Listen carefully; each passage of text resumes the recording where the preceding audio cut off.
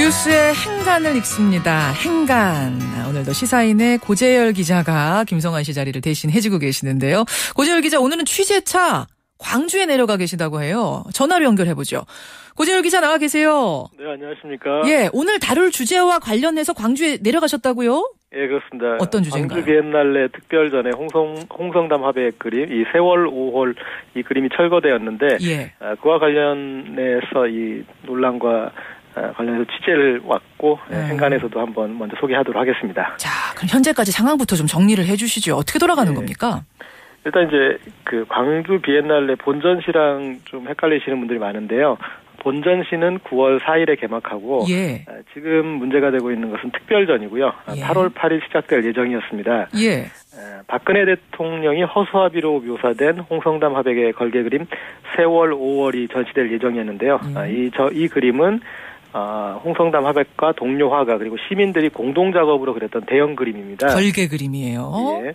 그리고 전시 직전에 수정 요구가 있어서 아, 이 박근혜 대통령 허수아비로 묘사되었었는데 닭으로 수정을 했는데 예. 그러나 걸리지 않았습니다. 그렇죠. 아, 화가가 이에 대해서 문제 제기를 했고 그러나 받아들여지지 않았습니다. 그 과정에서 아, 이 사태에 책임을 지고 책임 큐레이터가 사퇴를 했는데 예. 그럼에도 불구하고 해결되지가 않고 그래서 광주 비엔날레 재단 대표까지 현재 사퇴한 상황입니다. 예, 아, 예. 이에 이제 광주시는 지원은 하되 간섭은 하지 않는다 이런 이제 원칙론을 밝히고 9월 16일 어, 대토론회 때 논의를 하겠다 이렇게 해서 좀 뒤로 빠지는 상황입니다. 현재는 어, 비엔날레 재단의 어떤 대표이사가 사퇴를 해- 해버렸기 때문에 예. 해결할 주체가 없고 어, 그리고 21일 자문위원회가 좀 열릴 예정이었습니다. 예. 그런데 그 자문위원회마저 지금 취소된 상황입니다. 그래서 대치가 좀 그래요. 장기화될 수 있지 않을까 싶고 현재 광주에서는 아, 대부분의 시민사회단체 그리고 문화예술단체가 아, 윤장현 광주시장에게 항의를 하고 있는 상황입니다. 아하, 그 여기까지가 진행 상황. 네, 그 시민시장을 공언했었는데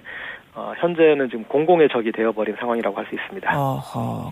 세월 5월이라는 걸개 그림 때문에 지금 벌어지고 있는 광주의 네. 상황, 광주 내려가서 정리를 해주신 거예요.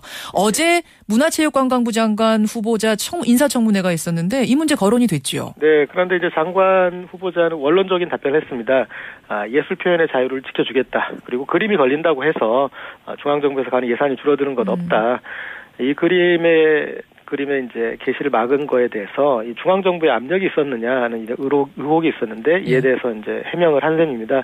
아, 이 문화체육관광부 장관까지 이런 입장을 밝히면서 아, 윤장현 시장 입장이 아, 더 옹색해진 상황이라고 할 수 있습니다. 그래요. 홍성담 화백은 어떻게 가서 좀 직접 만나 보셨어요? 네, 만나봤습니다. 아, 현재 이 세월호 그림은 비엔날레 재단 수장구에 있는데 예. 아, 이 그림을 그렸던 대한공간 메이홀에서 제가 뵀습니다. 예, 예. 아, 홍성담 화백은 이 그림을 반드시 비엔날레 특별전에 걸겠다고 하고.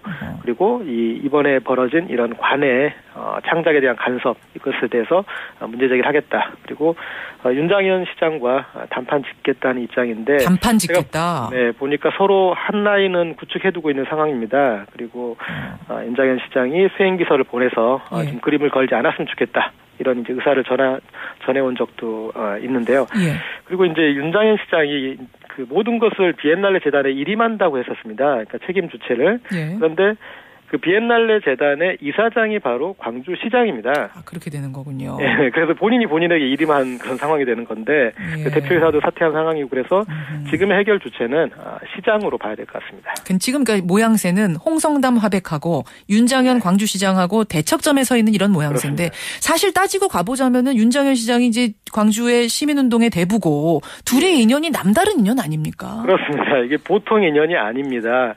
아, 1980년 광주 민중 항쟁 때 에, 홍성담 화백은 시민군으로 참여를 했고요. 예.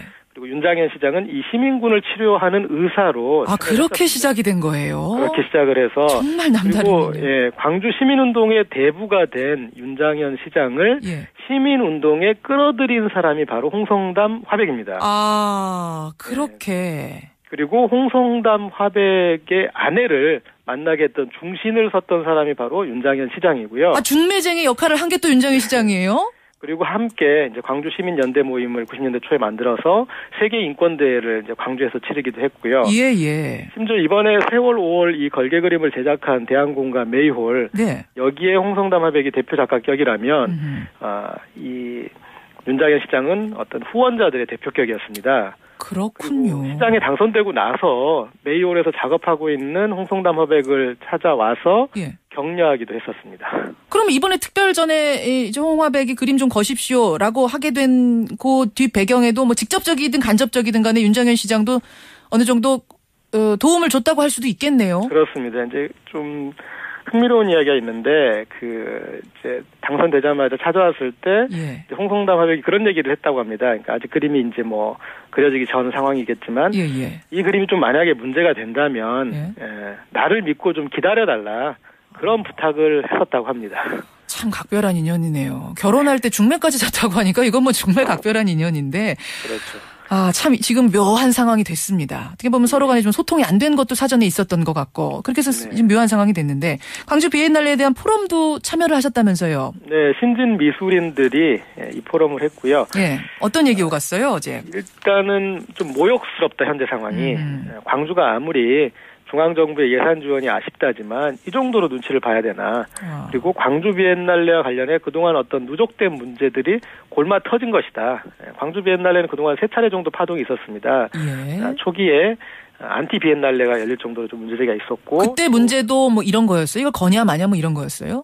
아, 그때는 아, 광주 비엔날레를 처음에 만들 때 예, 예. 5.18 진상규명과 그리고 보상 문제가 대두될 시점이었는데 예. 이제 비엔날레를 이제 관해서 하니까 음. 아, 이런 거 하고 어, 좀 속된 말로 먹고 떨어지라는 거냐 광주가 아, 이런 우리는 그런 행사를 반대한다. 그래서 안티 비엔날레를 이제 광주 문화예술인들이 했던 거고요. 예, 예. 그리고 이제 총감독 전시 총감독 체제를 만들었을 때이 지휘 문제를 놓고 또 예. 사퇴까지 하는 상황이 있었고 알겠습니다. 그리고 참 예, 예, 안타깝게 됐습니다. 우리 광주에 직접 내려가서 고재열 기자가 우리가 몰랐던 뒷이야기들 담아주셨어요. 고 기자 고맙습니다. 네 감사합니다. 잠시 후에 뵙죠.